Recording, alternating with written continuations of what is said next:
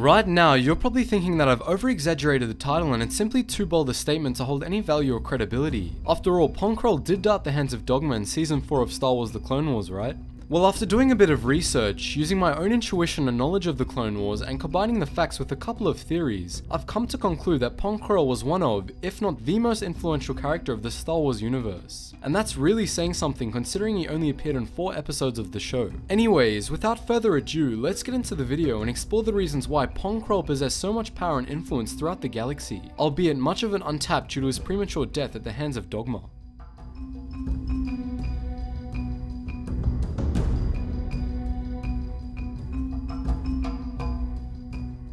The quote, arrogance is our undoing, has never been truer when one looks at the case of Pong Krell. He knew he was an extremely gifted individual as not only was he physically an abnormally strong Jedi, but also mentally as his connection to the Force was unparalleled, shown in the fact that he was one of the only known Jedi to accurately predict the downfall of the Republic. A new power is rising. I've foreseen it. The Jedi are going to lose this war, and the Republic will be ripped apart from the inside. With that said, Pong Krell almost had it all. He could have concocted a plan to prevent Order 66 and become a savior to the Republic and its people. However, his arrogance ultimately blinded him and he chose to give in to his temptations and betray the Republic.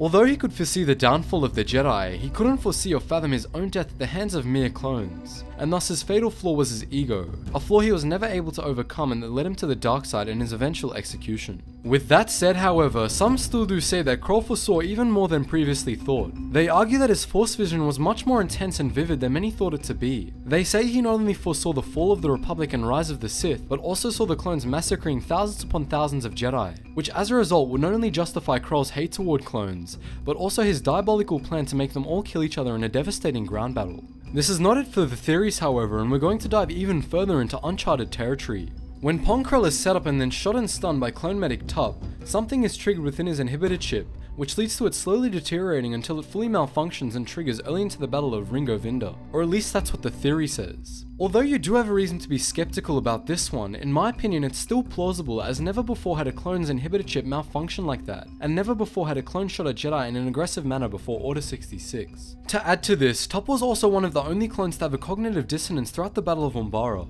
He was the only one to be noticeably torn between following the orders or disobeying them, which could have also had effects on his chip. Although this theory does have some flaws, I still believe that Tup's indecisiveness combined with Pong Krell's capture contributed to his inhibitor chip eventually malfunctioning.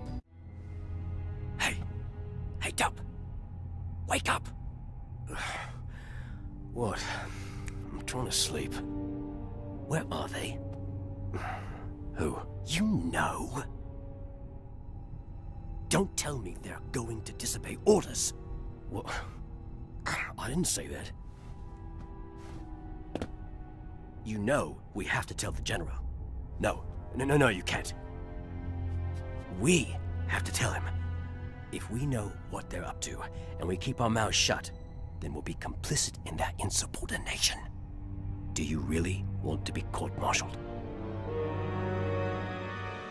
With that said, it's no doubt why Krell, prior to his death, was one of, if not the most important character in the Star Wars universe. He was, after all, one of the only Jedi to know the true nature and outcome of the war and could have potentially foiled it if he had made different choices. In saying this, it is a little blurry after his death as to whether he really did trigger the slow malfunction of Tup's inhibitor chip, and the theory can, admittedly, sound a little outlandish. Nevertheless, if ever proved to be true, it would be a prime example of the butterfly effect at work, as shown through Pong Krell being stunned by Tup, Tup's chip malfunctioning as a result, Fives later investigating the malfunction and subsequently dying because of it, and of course Rex becoming highly suspicious and removing the chip himself, convincing others to do so as well. So to finish off this video, I want to hear your thoughts on the potential fountain of influence Pong Krell could have had on the Star Wars universe, as well as your opinions or iterations on the two theories I spoke about in this video. Don't forget to check out and join the wider intergalactic community. We're active on Discord, Instagram, and of course our website. As always, thanks for watching and I hope to see you in the next video.